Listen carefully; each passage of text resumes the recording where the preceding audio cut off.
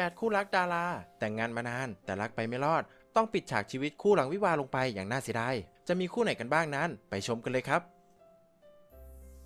เริ่มกันที่คุณปิ่นเกตมณี และคุณเจเจตลิน หลังตกเป็นข่าวลือคู่รักยุค 90 เซ็นใบหย่ากันแล้ว และเรื่องทั้งหมดนั้นก็ได้ตอกย้ำขึ้นมาเรื่อยๆ และต่างฝ่ายต่างก็อันฟอลโล่ไอจีกันและกัน แถมคุณปิ่นก็ได้กลับไปใช้นามสกุลเดิม ต่อมาคุณปิ่นก็ได้เปิดใจแบบหมดเปลือกครั้งแรกในรายการดัง ว่าได้หย่าขาดจากอดีตสามีที่คบกันมาเกือบ 30 ปี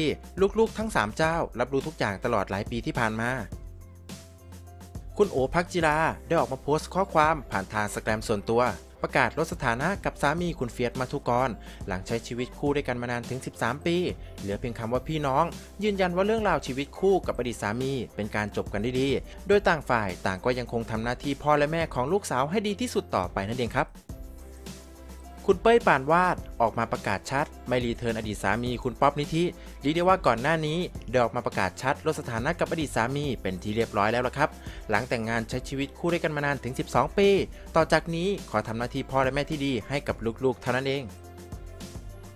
คุณหนิงปานิตา และอดีตสามี คุณจินจริน เป็นอีกหนึ่งคู่รักดาราที่ต้องเลิกลาไปอย่างน่าเสียดายหลังทั้งคู่แต่งงานใช้ชีวิตคู่ด้วยกันมานานถึง 11 ปีเมื่อทั้งคู่นั้นตัดสินใจอย่าขาดรักนี้ไม่ขอรีเทิร์นแต่จะทำหน้าที่พ่อและแม่ที่ดีแบบนี้ตลอดไป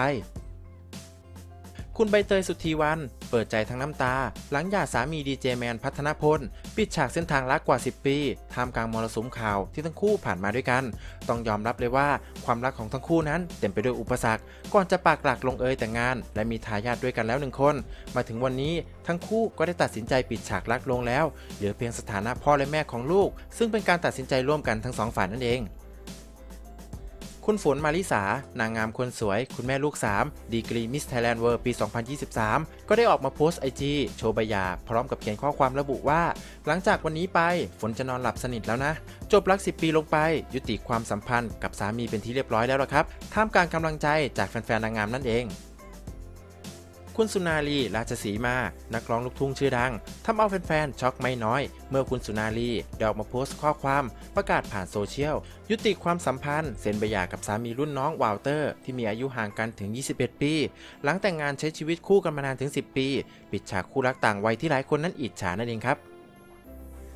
ปิดท้ายกันที่คุณมิวกี้ไปยายูทูบเบอร์สาว ที่มีการโพสต์โชว์ไลฟ์สไตล์สุดหรูของตัวเอง จนหลายคนให้ความสนใจติดตาม ก็ได้ออกมาประกาศ ว่าเธอนั้นได้แยกทางกับอดีตสามี คุณแดนนี่ ดานิเอล หลังทั้งคู่แต่งงานใช้ชีวิตคู่ด้วยกันมานานถึง 8 ปีกว่า จนในที่สุดทั้งคู่ก็ได้ตัดสินใจเซ็นใบหย่าจบสถานะชีวิตคู่ลงไปอย่างเป็นทางการแล้วนั่นเองครับ